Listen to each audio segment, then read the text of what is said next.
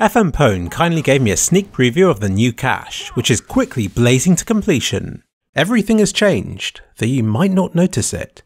He has given it an HD makeover. Textures have been replaced, realigned, or tweaked. The grass is better definition. He's even added weeds. The wood on Bombsite B has a detail layer. Door trims are now more defined. Bombsite B now politely shows terrorists where they can plant. A new graphic in Sunroom, courtesy of Thurnip. You'll have to wait until release to see it in game, but for now, have some dank concept art. More details have been added, more stains under crates, and more fancy shadows across the walls.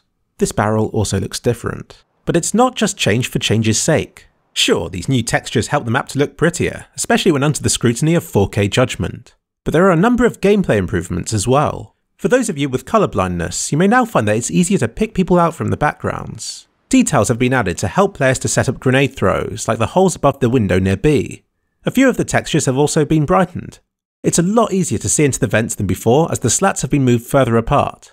Though interestingly, since they're at an angle, it can be hard to see through them from boost. A couple of bugs have been fixed too. Clipping has been improved to prevent lost bombs or dodgy movement. This crate used to turn transparent if viewed from a distance, though this is also fixed now.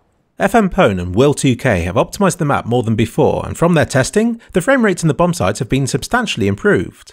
I ran my own tests at 4K resolutions and found that on average, the extra details outweighed the extra optimization, lowering the average frame rate by 11%. You can see a breakdown of individual areas here.